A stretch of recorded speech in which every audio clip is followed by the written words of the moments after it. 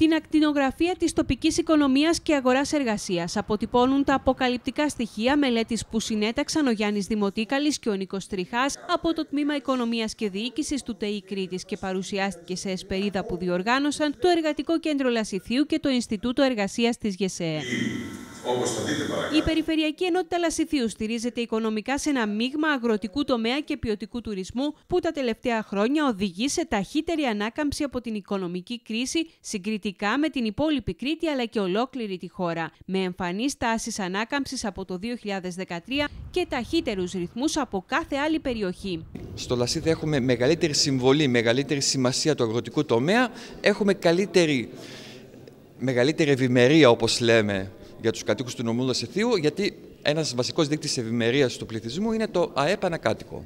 Το Λασίθι διαθέτει τρεις φορές μεγαλύτερο αγροτικό τομέα από τον εθνικό μεσοόρο και 75% μεγαλύτερο από το σύνολο της περιφέρειας Κρήτης, καθώς συγκεντρώνει το 50% των θερμοκηπίων του νησιού και το 20% της Ελλάδας συνολικά. Σε ένα άλλο πυλώνα που στηρίζεται η οικονομία είναι τα αγροτικά προϊόντα της Ιερά Πάτρας, που και αυτό όμως αν το δούμε από μια ε, σκοπιά διαφορετική έχει την επισφάλειά του με την έννοια ότι υπάρχει ο διεθνής ανταγωνισμός. Ο Δήμος Ιεράπετρας είναι εκείνος που συγκεντρώνει πέντε φορές μεγαλύτερη απασχόληση στον αγροτικό τομέα από τον εθνικό μεσόωρο. Τα προϊόντα που δίνουν το δυναμισμό του λασιθίου τελικά είναι προϊόντα που εξάγονται σε όλη την Ευρώπη και όχι μόνο σε όλη την Ευρώπη και στις υπόλοιπες χώρες εκτός Ευρωπαϊκής Ένωσης και επομένως πάλι οι διεθνείς εξελίξεις μπορεί να οδηγήσουν σε σκαπανεβάσματα. Η έντονη εποχικότητα της απασχόλησης που δημιουργεί ο τουρισμός σε συνδυασμό με τις ευέλικτες μορφές απασχόλησης και την πτώση των μισθών στην αγορά δεν δημιουργεί ελκυστικές συνθήκες για τους εργαζομένους. Η αγορά εργασίας στο Λασίθι μπορεί να φαίνεται υψηλός ρυθμός απασχόλησης,